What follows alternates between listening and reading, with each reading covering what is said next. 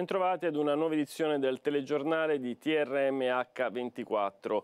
In apertura la politica, durissimo attacco da parte del presidente della Regione Puglia Michele Emiliano che è impegnato nella firma del protocollo tra la giunta regionale e i sindacati per l'individuazione e l'attivazione di interventi a supporto dei settori welfare e sanità, ha tuonato contro il governo centrale colpevole a suo dire di aver lesinato sulle spese a sostegno proprio della sanità il servizio. Nonostante le esperienze della pandemia, il governo centrale, appena l'emergenza è finita, ha ricominciato a lesinare sull'aumento eh, dei costi in sanità. Cioè, Così Michele Emiliano, che in occasione della firma del protocollo tra giunta regionale e sindacati sui temi del welfare e della sanità, tuona contro il governo di Giorgia Meloni, colpevole a suo dire di aver limitato il rimborso delle spese Covid e di aver risparmiato sull'aumento dei costi energetici, sulle nuove assunzioni, sul pagamento degli straordinari al personale per il recupero delle liste di attesa.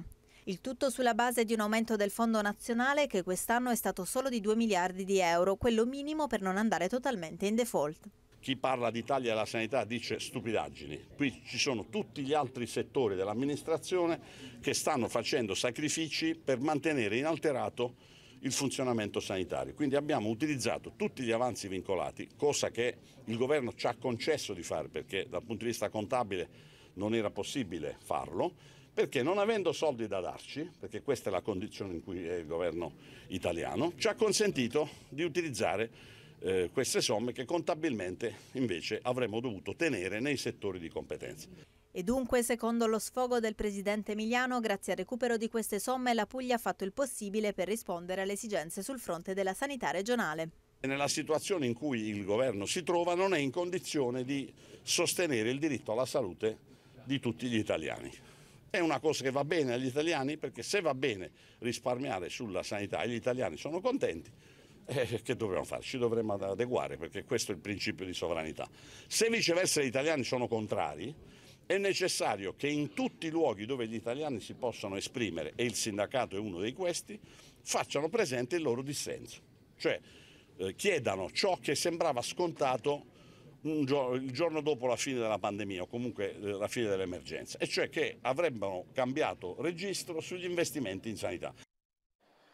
Le parole del Presidente della Regione Emiliano sono state pronunciate in occasione della firma del protocollo tra Regione e sindacati proprio sul tema del sostegno al welfare e alla sanità. Ascoltiamo.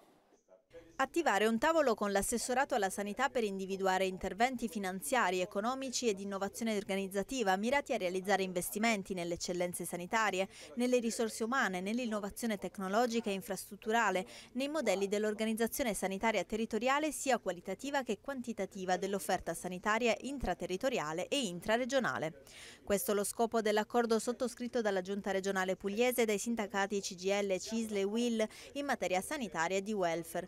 Un tavolo finalizzato anche all'attivazione di tavoli aziendali con i direttori generali per monitorare il rafforzamento della sanità territoriale attraverso i servizi forniti dai PTA, dagli ospedali di comunità e dalle case di comunità, svolgendo un'azione di verifica dell'attuazione del PNRR e del relativo personale da destinare alle nuove strutture.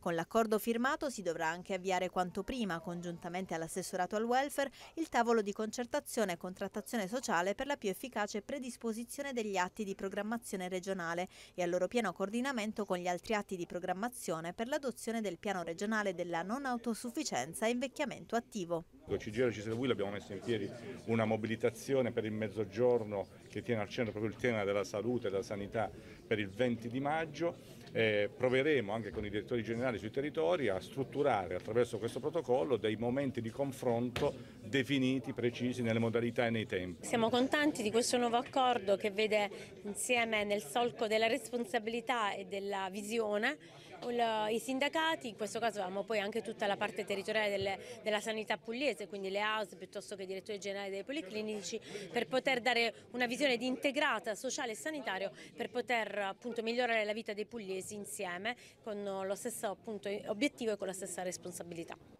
Ci spostiamo a Matera dove ieri è tornato a riunirsi il Consiglio Comunale tra le discussioni quella politica sull'azzeramento della Giunta.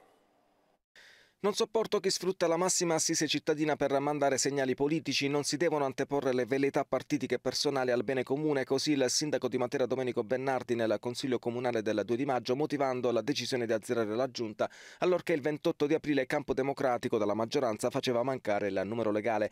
Pronta la risposta di Michele Paterino da Campo Democratico, non c'è nulla che attiene a interessi del gruppo e personali, la nostra azione non ammette in discussione la maggioranza negli obiettivi. Abbiamo ritenuto opportuno però segnalare la necessità necessità di una verifica politico-programmatica a metà mandato e i rapporti tra i gruppi di maggioranza. La scelta di azzerare la giunta comunale, ha aggiunto Paterino, è stata forte e inattesa, ma sono facoltà del sindaco. È invece apprezzabile il fine, dice, fare chiarezza nella maggioranza e rilanciare l'azione che fino a questo momento non sempre è risultata in linea con le aspettative dei cittadini. Poi sull'imminente rinnovo del Presidente del Consiglio riteniamo che le questioni della scelta del candidato non debbano essere decise soltanto dalla maggioranza relativa, ma anche dalla minoranza.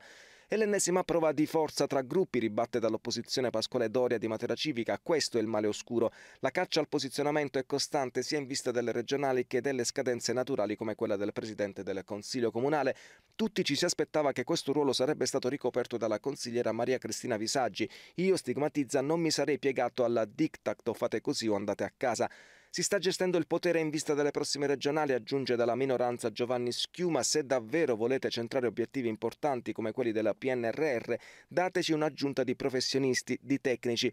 Avete usato tutti per arrivare al potere, sottolinea Cinzia Scarciolla, invito il sindaco a non escludere di andare a votare nuovamente e poi rivolgendosi a Campo Democratico dice vi ha già scaricati.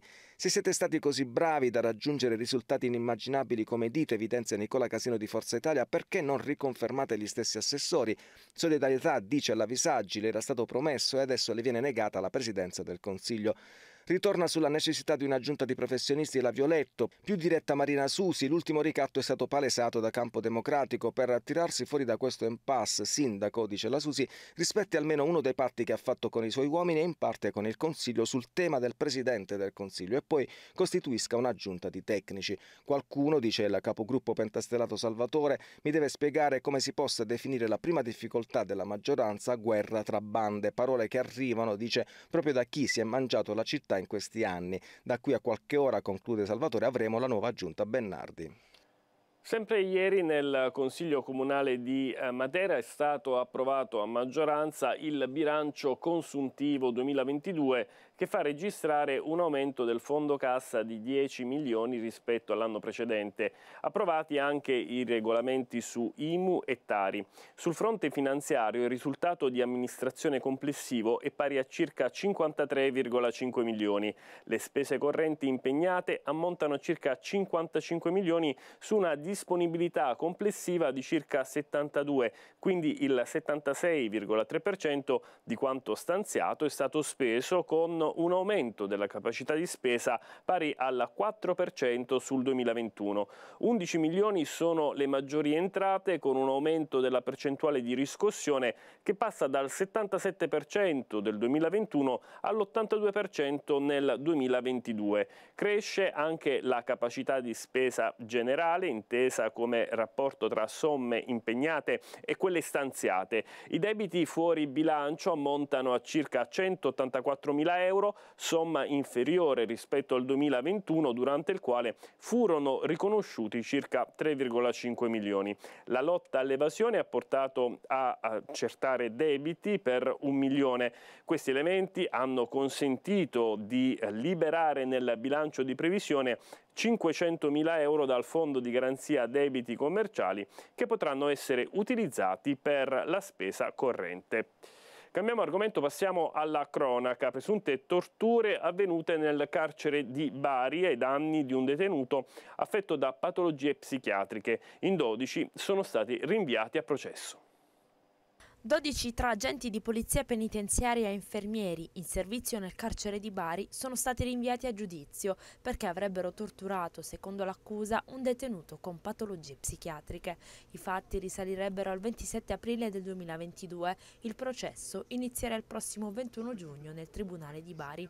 La GUP Rossana De Cristofaro ha ammesso al processo, con rito abbreviato, tre imputati che ne avevano fatto richiesta. Il sovrintendente di polizia penitenziaria Domenico Coppi Coppi, l'agente Roberto Macchia e il medico Gianluca Palumbo. Secondo l'accusa, sei agenti della polizia penitenziaria avrebbero torturato un detenuto di 41 anni dopo che questi aveva dato fuoco a un materasso nella sua cella.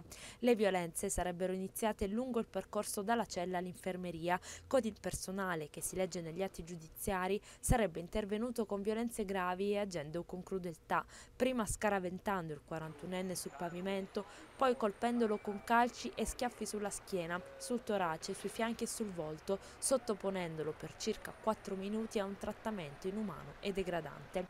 Uno degli agenti, per tenere fermo il detenuto, lo avrebbe bloccato mettendosi di peso sui suoi piedi.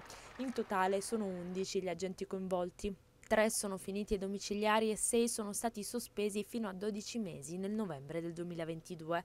Ai poliziotti non accusati di tortura la procura contesta di non aver fermato e di non aver denunciato le violenze. Pure gli infermieri saranno processati per omessa denuncia, mentre il medico che ha scelto l'abbreviato è accusato anche di falso in atto pubblico per non aver refertato le ferite riportate dal detenuto.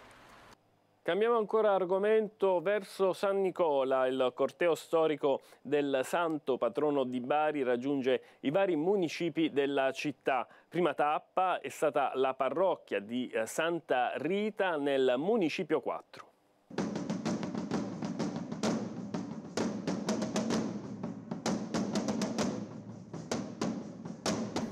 Ufficialmente cominciato a Bari il conto alla rovescia di avvicinamento ai festeggiamenti in onore di San Nicola. Grande attesa per il tradizionale corteo storico che sfilerà per le vie del centro la sera del 7 maggio.